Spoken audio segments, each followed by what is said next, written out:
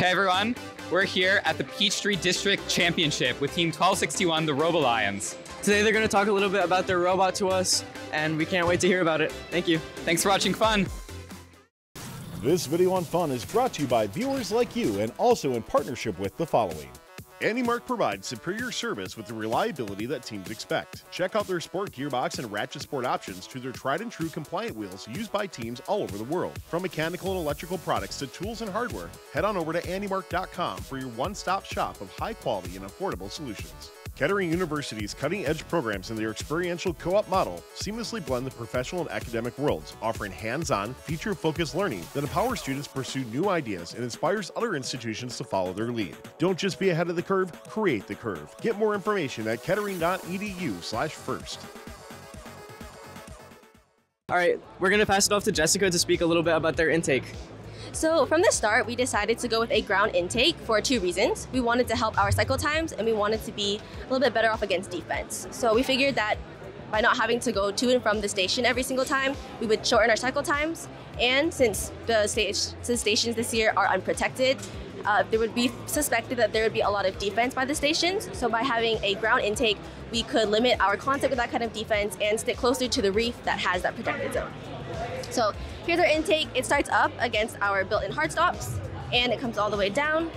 At the bottom, we have this set of rollers that have these small like 1.65 inch wheels and that helps to kick up the coral against this polycarb plate. And then on the top, we have these two sets of rollers with Starflex wheels. This set, front set is able to come up and down along the path of these slots and is tensioned with some surgical tubing that helps it stay in this downward position, but is able to come up depending on the orientation that we want to intake coral. So by having this flexible, we're able to intake coral at any orientation. When it comes in per parallel to the intake rollers, we're able to keep this down and then have it smoothly go up. But when we're intaking more so perpendicular to the way that our shafts are running, this is able to pop up a little bit and allow for that give that allows the coral to come through. So speaking of uh, orientation and funneling, oh, um, because of the positioning of our side elevator, our intake isn't able to be perfectly centered on our robot, which, um, so to combat that, we have uh, a wedge, a wooden wedge down here, and a polycarb flap, which helps to further guide the coral into the center of our robot where the rest of our funneling is. So like here we have our indexer, our coral comes up through the intake, through these two rollers on the indexer, which is just for more direct contact, and then funnels into our end effector. And then another interesting thing about our intake is that it is able to work with algae. So when um, when our intake is um, in a more upwards orientation, we're able to wedge a piece of algae between the bumpers and the bottom of our intake, which allows the robot to both carry the algae and score it in the processor. So. Uh, just absolutely love to hear that how much iteration and work you guys went through on that intake. That is probably one of the most multifunctional mechanisms that I've seen uh, that a team has had. Did, just a quick question: When you guys were designing that, was the algae pickup intentional, or is that something you kind of just figured out later? Uh, it's something we kind of figured out later. Later, um, this is our second version of the intake. It worked with the first version as well. We after we changed it, um, we thought it wasn't going to work because we switched this. Originally, this polycarb flap was belts, and so we thought because of how compliant the belts were, that's why it was able to work. And then we ended up testing it with this new one, and it works even better than the first one.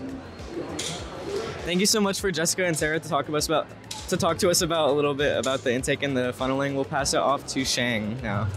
Right. So because of how we intake and index, we decided that an end effector design like this, that's sort of like a basket, would be better than the more common design of like a claw with two wheels on the side.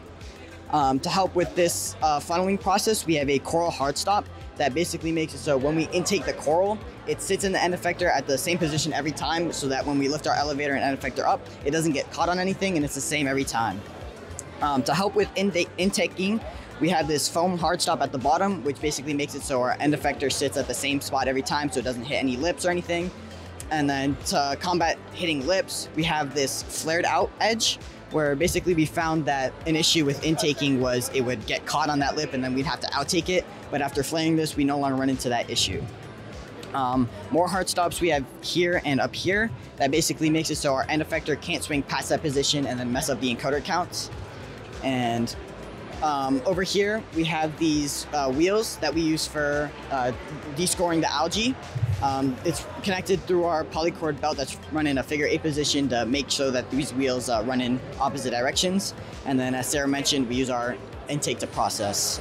Um, to score, we have a three-stage cascading elevator, which allows us to score on all four levels. And then over here and further on the back, we have two support bars that just help with stability when we're at such high positions and driving around. And then at the back here, we have this half of uh, acrylic tubing that helps to make sure that our energy chain doesn't really swing around while we're driving around and moving the elevator up at high speeds.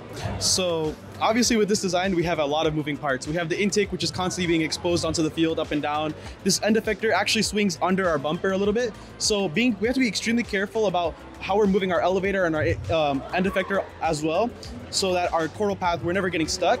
So when we do that, we have a state machine that we run, and that state machine is constantly monitoring the positions of the arm using a CANcoder, the intake using a th uh, new WCP through bore, as well as the um, elevator, and making sure that they're all staying consistent and moving in the correct sequence. So you run a lot of timers, a lot of transitions in our code just to monitor and make sure everything's moving correctly. Uh, Aiden, can you go ahead and run the intake? So yeah, as you're gonna see, um, so what happens is the the um, elevator comes up, arm swings down, and then it comes down. So everything moves in the correct sequence so that we're not getting stuck. And we also have a coral sensor here, which allows us during Auton to maintain whether or not we have coral because we run object detection. So during autonomous, this back limelight here is used for coral uh, detection.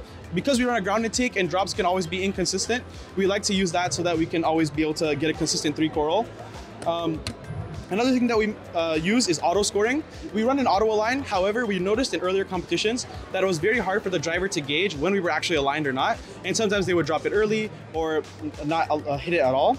So what we realized is by using the robot's po uh, pose estimation to drop it autonomously, that would get us a lot more consistency and um, make our and eliminate the driver error portion of auto align. Um, so for our vision, uh, we're running uh, two 3Gs in the front using Megatag 2. Last season, uh, we used a lot more Megatag 1, but uh, over the summer, we uh, kind of did a lot of research on Megatag 2, and we were really happy with um, the accuracy, especially at IRI. Um, so we decided to still use Megatag 1 to uh, estimate our gyros so that we can start in a lot more varied positions in Auton. But um, we decided to switch over to Megatag 2 in um, Teleop once we have our gyro all settled. And then for our um, coral tracking, uh, the way we implement uh, driving towards the coral is we just have the drivetrain on a simple uh, backwards uh, robot relative loop. And then um, we then turn just towards the coral. So it's really simple, but it you know gets the job done. And yeah. Um, then for our auto align, uh, we noticed that we wanted a lot of different behaviors depending on how far and close we were to the uh, line spot that we calculate in our library. So then um, we decided to use three different uh, PID tunes, one for close, mid, and far away. So around two-ish meters plus, uh, 0.65 meters to 2 meters, and then 0.65 meters uh, to the uh, target pose, we would use different tunes. And that uh, basically allowed us to uh, skip the really annoying process of getting feedforwards, but also still uh, maintain really nice uh, behaviors and also accuracy with our really short time.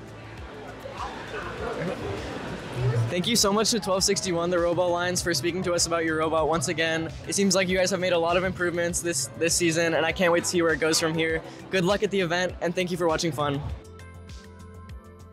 Thanks for watching. Don't forget to like, subscribe, and click the bell to stay up to date on future fun videos.